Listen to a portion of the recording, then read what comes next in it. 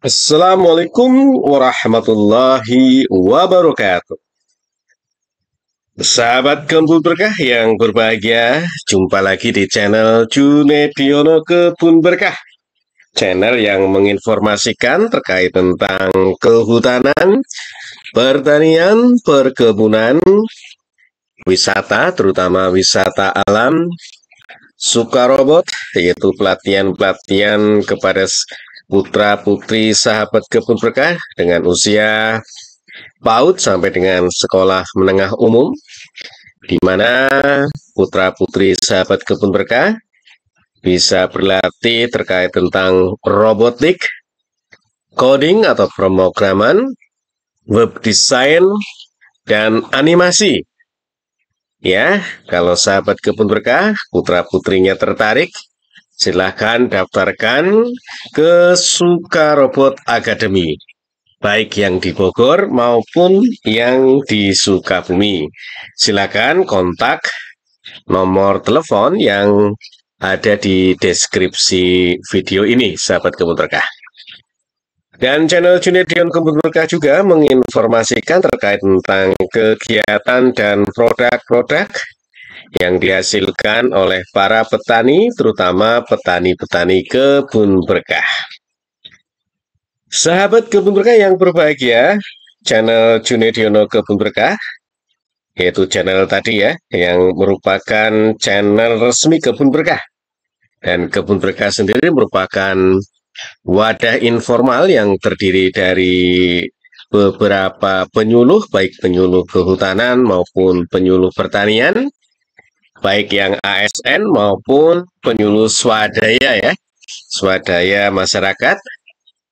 Ada juga di dalamnya adalah petani, baik yang individu maupun yang sudah tergabung di dalam kelompok tani. Ada juga komunitas-komunitas sahabat kebun berkah ya. Ada juga apa namanya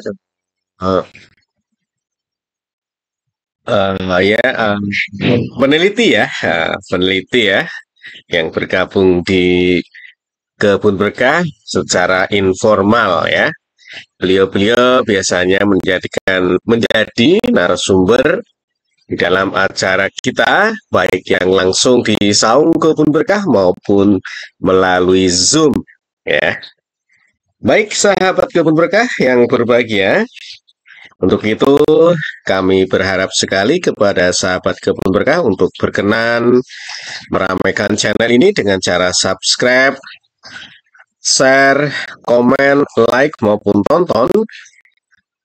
Dan apabila sahabat kebun berkah merasakan bahwa channel ini bermanfaat sekali, maka jangan ragu-ragu untuk bergabung bersama kami. Dengan hanya Rp29.900 per bulan, sahabat kebun berkah bisa mendapatkan keuntungan antara lain bisa mendapatkan informasi cep paling cepat ya dibanding dengan yang tidak berlangganan ya. Dan juga bisa direct ya, bisa direct terkait dengan live streaming. Ya, luar biasa sahabat kebun berkah. Baik sahabat kebun berkah, kali ini kita akan mencoba untuk membahas walaupun mungkin 10 menit, 5 menit terkait dengan beberapa penyebab tanaman buah tidak bisa berbuah atau gagal berbuah. Baik sahabat kebun berkah, apakah faktor-faktornya ya yang bisa menyebabkan tanaman gagal berbuah. Yang pertama adalah karena adanya pemupukan yang berlebihan, sahabat kebun berkah. Terutama pemupukan yang menggunakan pupuk yang mengandung unsur N atau nitrogen dengan kadar yang berlebihan menjadi salah satu faktor penyebab terjadinya kegagalan tanaman gagal berbuah. Hal ini terjadi ya dengan pemupukan yang banyak atau berlebihan akan membuat tanaman tumbuh menjadi terlalu rimbun ya karena daunnya terlalu banyak jadi rimbun sahabat kebun berkah. tajuk tanaman kurang mendapat sinar matahari, tanaman yang tumbuh merupakan jenis pohon yang hanya bisa berbuah kalau ada pohon berbunga jantan tumbuh di dekatnya. Ini juga akan mengganggu ya, karena tajuknya lebat, kurang dapat sinar matahari, juga terhalang untuk pembungaan ya, pembuahan ya. Apabila ini terjadi pada pohon yang berumah dua ya, karena atau berumah satu ya, atau, uh, antara kelamin betina dan kelamin jantan berbeda pohon. Ini juga akan terganggu dengan adanya rimbunnya daunnya ya.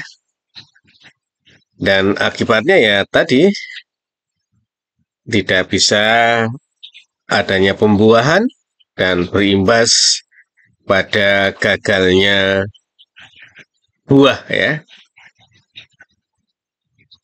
Yang kedua adalah karena faktor bibit tanamannya sendiri, sahabat kebun berkah. Ini hal ini terjadi karena tanaman yang ditanam belum mencapai batas umur untuk berbuah. Biasanya batas umur itu tergantung pada jenis tanaman dan bibit yang digunakan. Jika bibit tanaman yang dibudidayakan dengan cara generatif atau menggunakan biji, maka batas umur berbuahnya akan lebih lama dibandingkan dengan tanaman yang ditanam yang berasal dari bibit vegetatif ya, seperti hasil okulasi, tempel, cangkok ya. Ini akan lebih Eh, cepat untuk berbuah. Namun apabila generatif juga memerlukan waktu yang lebih lama dibanding dengan cara vegetatif. Penyebab yang ketiga adalah adanya proses penyerbukan ya, ada gangguan-gangguan penyerbukan. Misalnya saat berbunga, pembungaan terjadi atau berlangsung, ada tingkat kemasakan dari buah jantan dan buah betina tidak sama ya sebelum terjadi pembungaan, eh, persarian atau ya pembuahan ya. Karena hal ini disebabkan karena salah satu bunga telah ada yang gugur, lalu yang lain belum. Tidak tidak sama ya, tidak sama matangnya antara betina dan jantan. Juga menjadi penyebab terjadinya gagal penyerbukan yang akhirnya juga akan membuat tanaman gagal berbuah, sahabat kebun berkah. Penyebab yang keempat adalah adanya gugur bunga. Ini juga terjadi apabila pohon berbunga lebat, tapi akhirnya buah-buah yang ditunggu-tunggu juga tidak ada. Penyebabnya adalah salah satunya gugur bunga. Keguguran bunga ini terjadi karena hal-hal sebagai berikut ya. Pertama, sedikitnya kadar nitrogen dan tingginya kandungan kalsium dalam tanah. Yang kedua, kurangnya pasokan air dalam tanah. Yang ketiga, kondisi batang bagian bawah bibit okulasi yang kurang baik. Yang keempat, adanya serangan hama ataupun penyakit ya. Yang kelima adalah hujan yang terlalu deras ataupun angin yang terlalu kencang dan kemarau yang terlalu panjang. Dan yang terakhir adalah penyemprotan pupuk pada daun tidak rutin dilakukan. Penyemprotan pupuk pada daun sebaiknya dilakukan sebelum tanaman berbunga, sahabat kebun berkah. Karena ini apabila dilakukan pada saat berbunga ya bisa menyebabkan terjadinya gugur bunga, sahabat kebun berkah. Penyebab yang kelima karena ada kegagalan berbuah ya. Penyebab yang kelima adalah biji itu sendiri ya. Atau apa namanya? Uh, ini terjadi ketika generatif tadi ya, sahabat berkah. Biji yang tumbuh menjadi tanaman baru harus membentuk akar, batang, tajuk, dan daun sehingga awal produksi bunga atau buah mengalami keterlambatan ya. Tadi ini sebenarnya sudah dijelaskan kenapa bibit yang secara generatif akan lebih lama atau bahkan gagal berbunga karena tadi adanya pertumbuhan-pertumbuhan tertentu seperti akar, batang, tajuk, ataupun daun yang diutamakan terlebih dahulu ya. Ini penyebab yang kelima. Penyebab yang keenam adalah adanya tanaman yang menjadi mandul ya. Ya, ada juga tanaman yang mandul ya karena adanya mutasi genetik. Ya, bisa terjadi, bisa bisa juga terjadi ini sahabat kebun berkah bahwa tanaman yang kita tanam ternyata bermutasi ya. Bermutasi yang mengakibatkan kemandulan tanaman tersebut secara langsung maka akan mengakibatkan tidak bisa berbuah. Karena mandul ya, sahabat berkah. Yang ketujuh adalah faktor angin ya. Ini sebenarnya tadi juga sudah kita singgung ya ter ketika terjadi kegagalan gugur bunga ya. Ini penyebabnya salah satunya adalah angin yang kencang ya. Jadi angin ataupun serangga ya berperan penting dalam membantu proses penyerbukan. Apabila pada waktu bunga muda mulai mekar, tidak ada angin yang berhembus dan juga tidak ada serangga yang datang, ini bisa menyebabkan proses penyerbukan susah terjadi ya.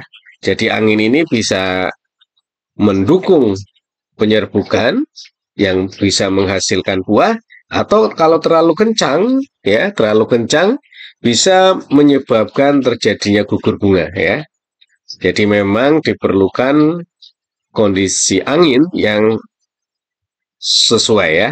Tidak terlalu kencang ya. Nggak tidak mengganggu atau menggugurkan bunga yang sudah ada. Penyebab yang ke-8 sahabat kebun berkah yaitu penyiraman yang kurang. Apabila terjadi musim kemarau yang panjang atau tidak ada hujan atau tanaman jarang dilakukan penyiraman, maka tanah akan menjadi kering sehingga udara yang terdapat di sekitar tanaman akan menjadi panas, sahabat kebun berkah. Air berfungsi untuk mengangkut sari-sari makanan ke seluruh bagian tanaman akan terganggu. Dan ini lebih harus berhati-hati apabila terjadi gangguan karena tidak ada air sehingga tidak bisa mengangkut sari-sari makanan terutama pada saat pembungaan ya atau akan memasuki masa berbuah. Ini sangat berbahaya sahabat kebun berkah. Sehingga pada masa-masa ini penyiraman harus benar-benar cukup ya. Sehingga gagal buah ataupun gagal panen tidak terjadi pada tanaman yang kita tanam. Ya, itulah sahabat kebun berkah 8 eh 8 ya, 8 faktor yang menjadi penyebab sahabat kebun berkah bisa gagal panen ya. Bisa gagal memetik buah pada tanaman yang sahabat kebun berkah tanam. Ada beberapa hal yang bisa sahabat lakukan ya untuk bisa menjaga agar tanaman sahabat kebun berkah bisa berbuah ya. Tadi ada faktor penyebabnya yang delapan dan ada beberapa hal yang bisa sahabat kebun berkah kerjakan untuk bisa tidak terjadi hal-hal yang tadi kegagalan buah ya, kegagalan pembuahan, gagal panen, gagal memetik buah ya. Yang pertama adalah pilihlah bibit tanaman buah yang baik ya. Memilih bibit tanaman buah yang baik dan juga unggul amat sangat diperlukan.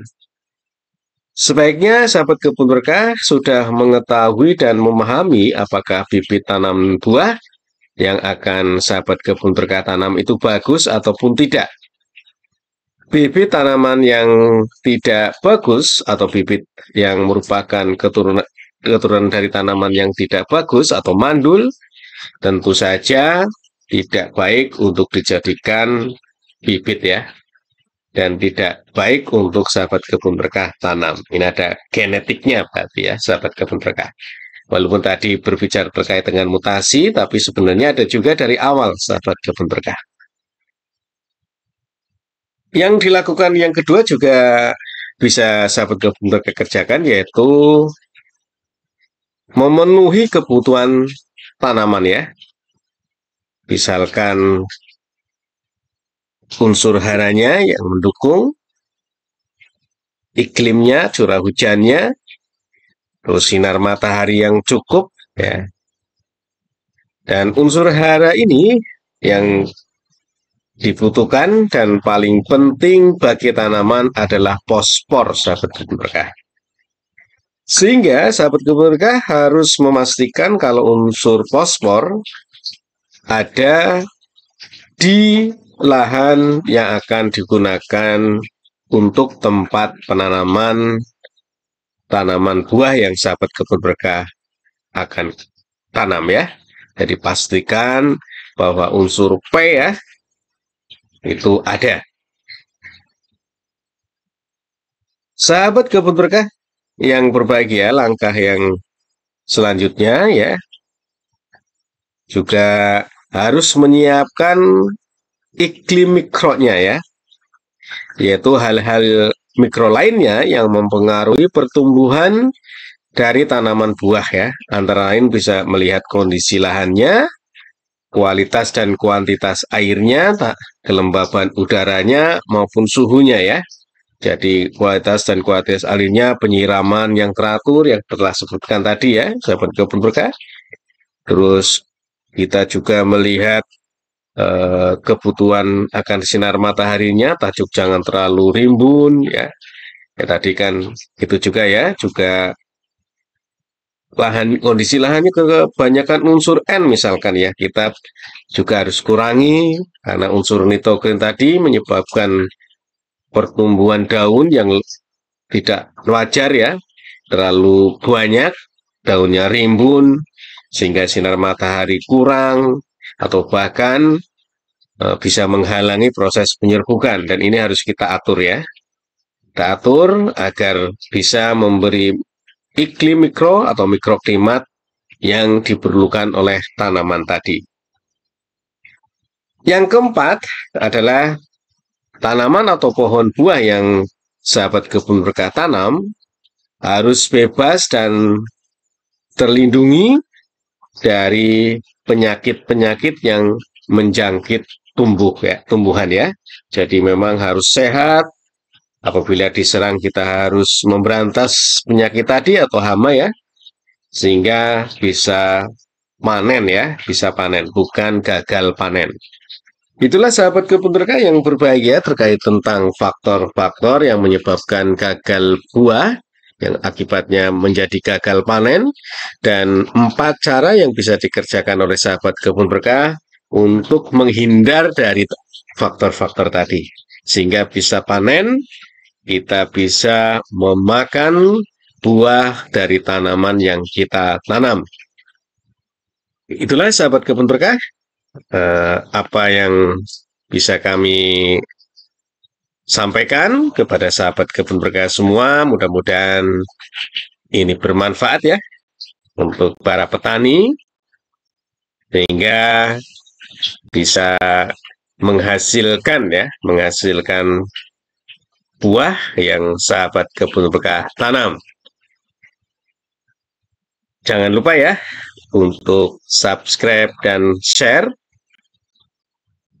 channel ini karena banyak informasi-informasi yang kita sampaikan atau kami sampaikan kepada sahabat kebun berkah. Ada informasi bibit buah gratis, bibit kayu gratis ya untuk masyarakat. Terima kasih dan tetap semangat. Assalamualaikum warahmatullahi wabarakatuh.